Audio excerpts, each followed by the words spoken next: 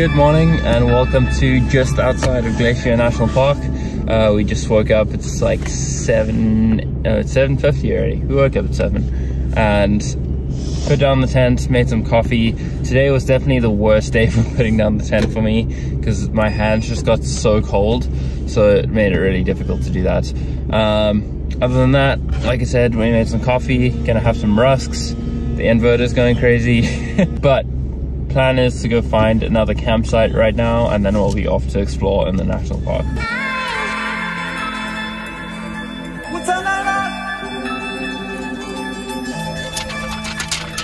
First time we got lucky actually getting a campsite. That's Yeah. not that's not necessarily true, but yeah. We got such a good spot at the campsite that is the closest to Glacier. Um, we got showers, Wi-Fi, full so phone service. This is what a campsite. Only for $30.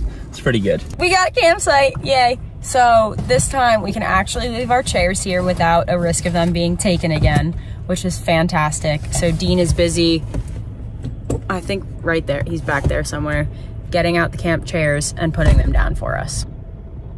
Put those chairs down. Oh wow, that's really out of focus. Nice. Easy setup. Yeah. Here we go again.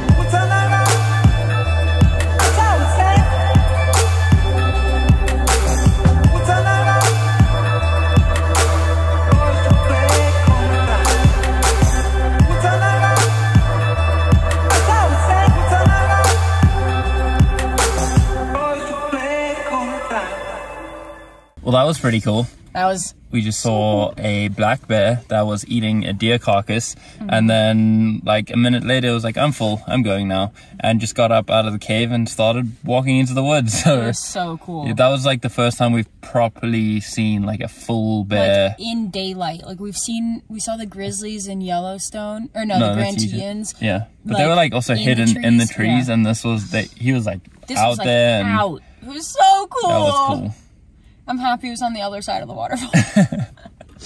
and it's only 9:30 in the day so we still have this A has lot of been time. like the first 20 minutes of driving so It's we still have even more crazy things to see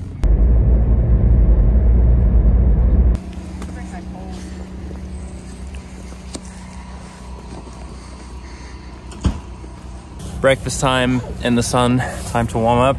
And our first stop of the day, besides the bear stop, is called Avalanche Creek Trail.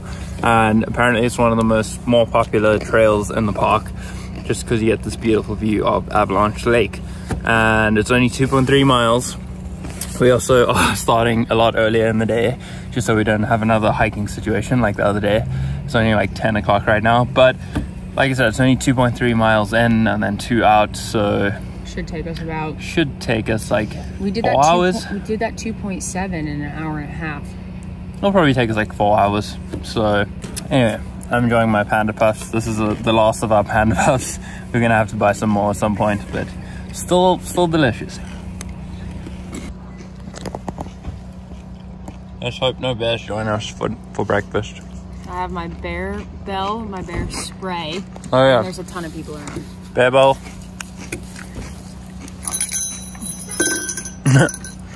Christmas time. Spray.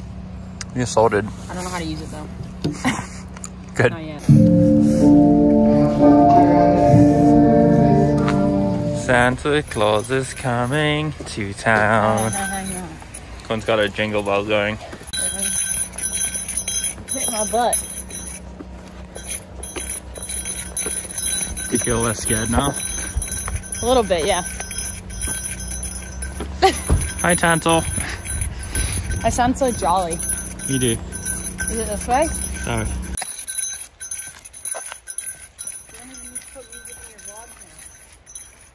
Don't you just love the sound of nature and jingle bells?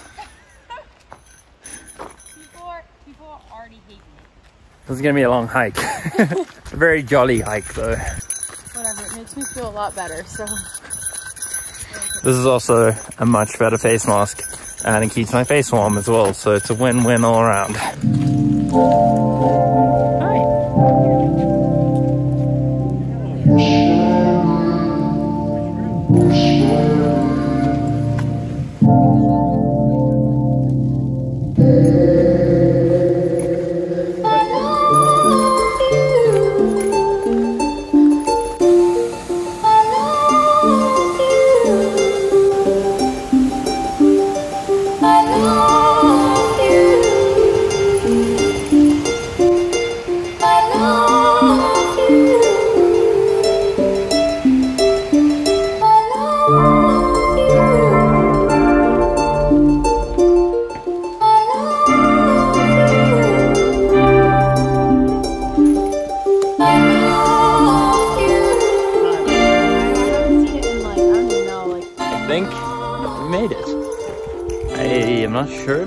One, but I think this is the one.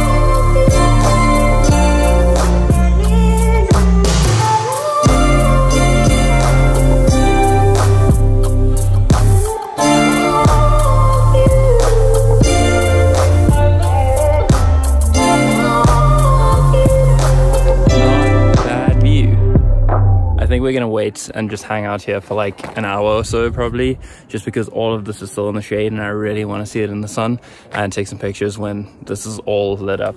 But wow this is beautiful. Like the color of the water is so clear and then just like as it goes further back it's just so like crystal blue. Wow ice water man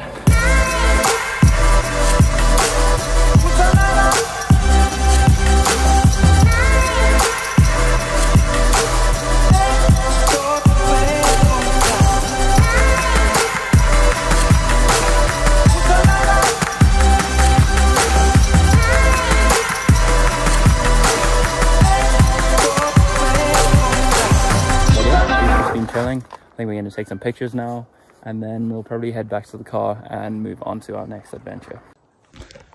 Okay, I think it is time to say goodbye to this beautiful view for now. I definitely want to come back at some point, especially at sunset with this uh, sunset at winter. Because when the sun's going down that way and all of that is covered in snow and ice, I think it'll be absolutely beautiful, like with the contrast of this blue lake as well. So Glacier, we will be back. Um, Avalanche Lake. We will be back.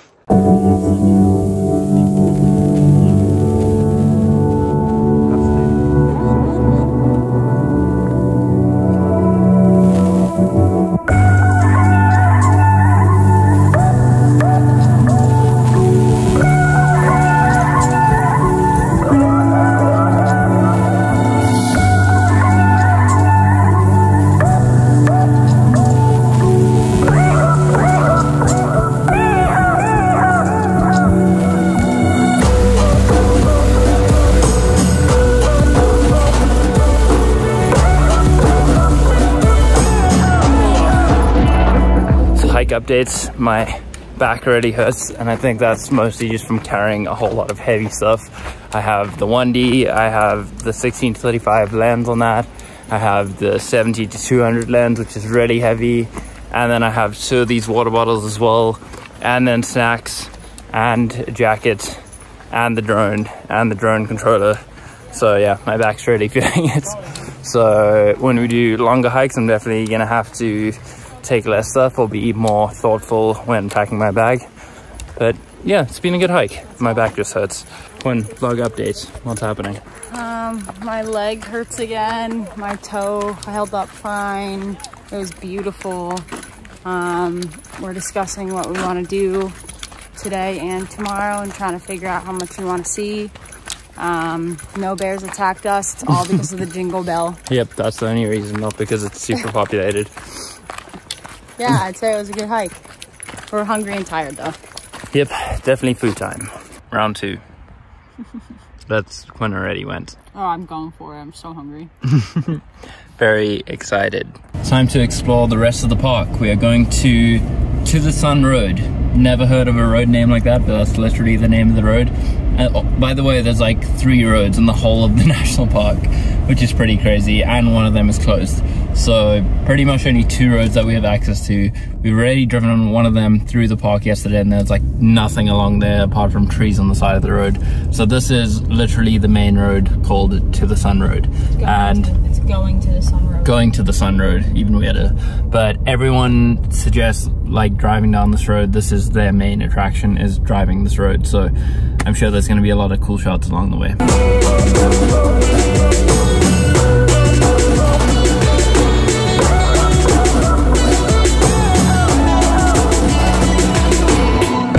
Bridge might not look that impressive, but if you factor in that it was built in 1926, all using hand tools, that is pretty insane. That's a carve through, what was it, like 190 feet of rock, solid granite.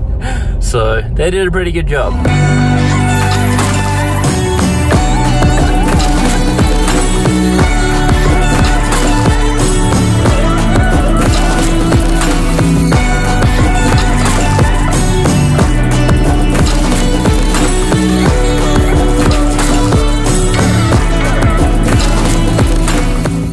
Think this is a really significant stop seeing our first full glacier.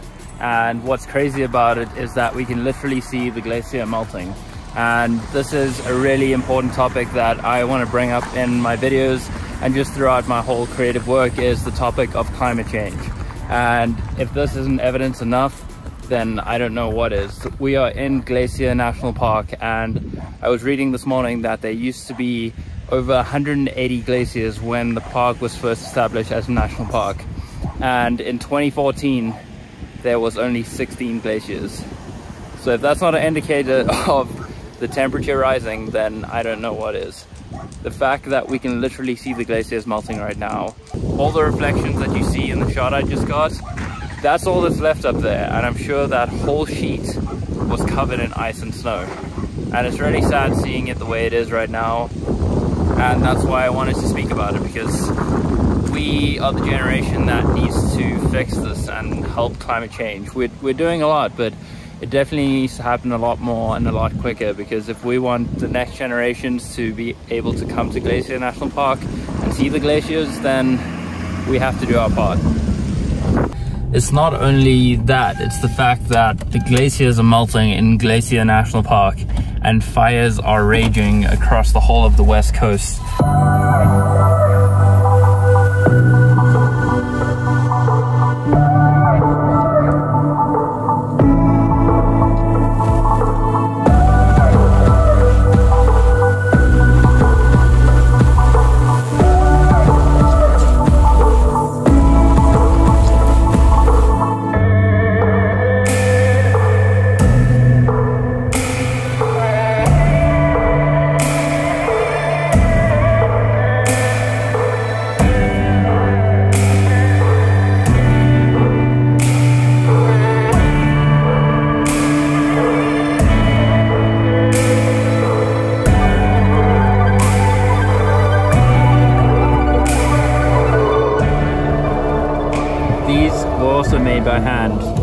Day. And as you can see, the point that the architects were trying to go for was for the bridge to blend in with the rest of the land. And I think they did a pretty good job. They wanted the road to not be visible like when you're in other parts of the mountains. So very well done working with the environment.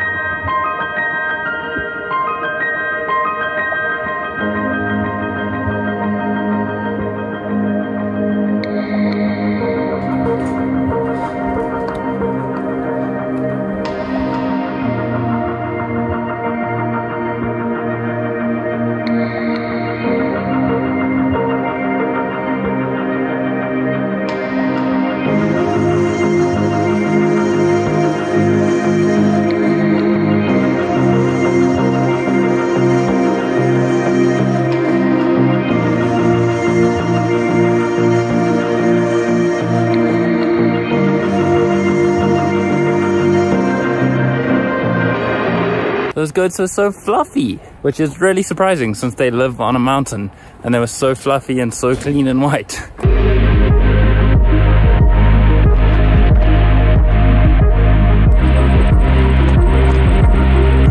So unfortunately we have come to the end of the road of going to the Sun Road. Um, the rest of the road is closed off from this point because of COVID and fires and all of the things that are destroying national parks. Um, so we have to turn around, but we're gonna head back and check out some more views and then do one more hike and then we're heading back.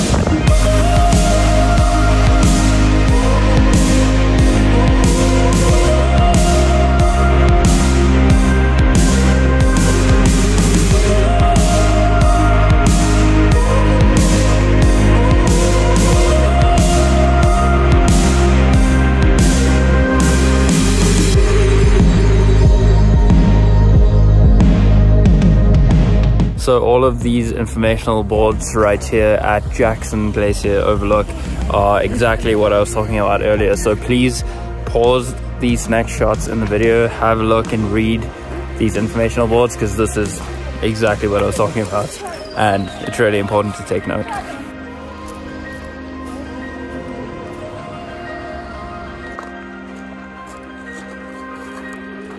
Oh, okay, I was a little bit wrong earlier when I said there's 16 glaciers, but still 26 in 2015. And like the title of that said, it was called Losing a Namesake. If one day, I don't know, maybe a hundred years time, there's no more glaciers left in Glacier, they are gonna have to put a little asterisk next to the name because there literally won't be any glaciers in Glacier National Park, which is really sad. On a lighter note, we're going on to the next hike. Last hike of the day, let's do this. Shouldn't be too difficult, it's only a mile and a third, mile and a half in, mile and a half out. So yeah, should be like an hour and a half, two hours total. And we should be getting a nice sunset view of the glaciers and what's called the Hidden Lake.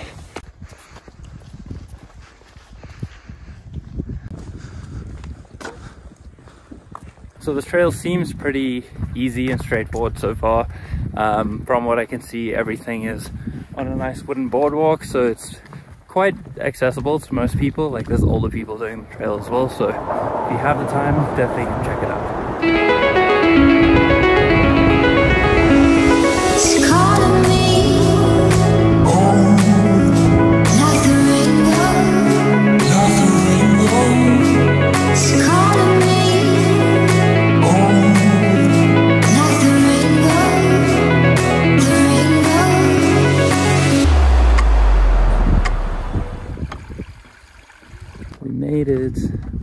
Wow, this is one of the best views of the trip, arguably.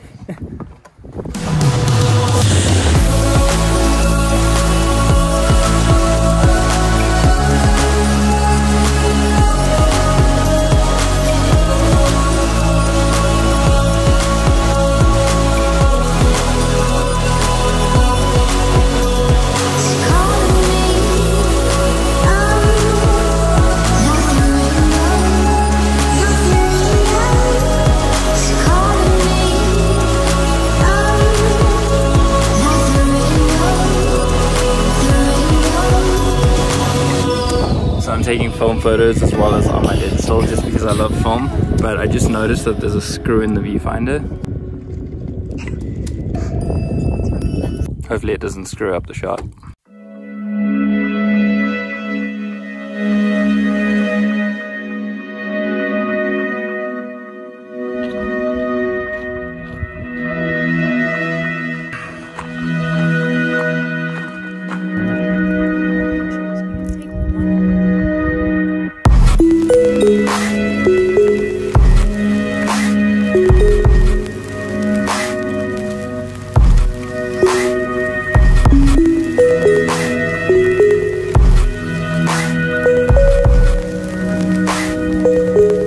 Well, that was incredible. Would highly, highly recommend that.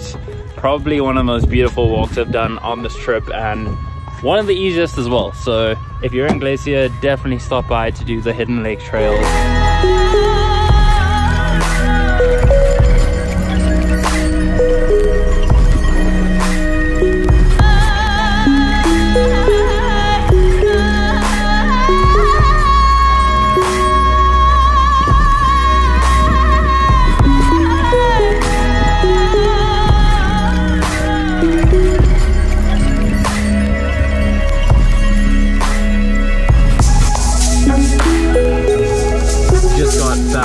From the going to the sun road more like going to the moon road now it felt like it was never gonna end.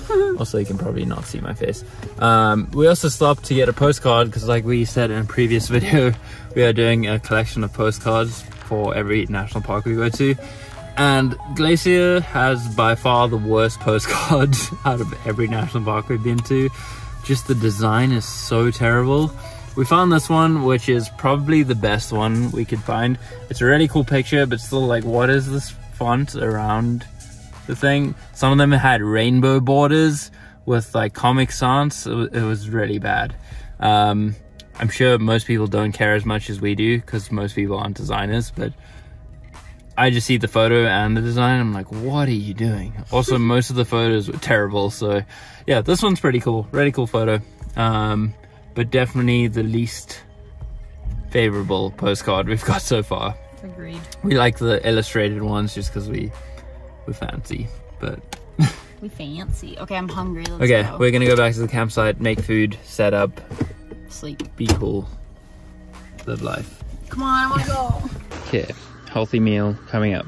Got the kielbasa from hot dog things. We got peas. We got onions and carrots. We got tortellini Spinach. and. Totally. Spinach tortellini. Combine those all together, makes one really good meal.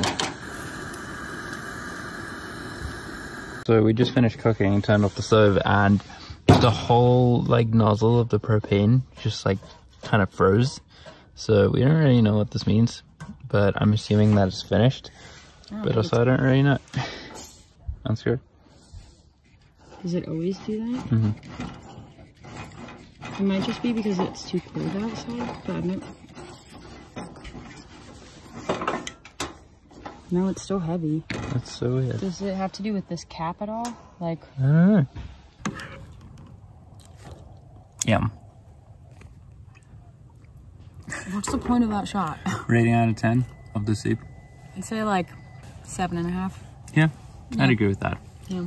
I've made better soups. It's good. Could be better, but but seven and a half for camping. very good Pretty for good. camping. Yeah. Yeah. I'd say it's a 10 for camping. Seven and a half for like my normal standard of soup. Fair enough. Mm-hmm. The light is so bright in my eyes right now. to me. Another end to another very long day. I'm dead. My back hurts and it's time for sleep. Thanks for watching. See you tomorrow.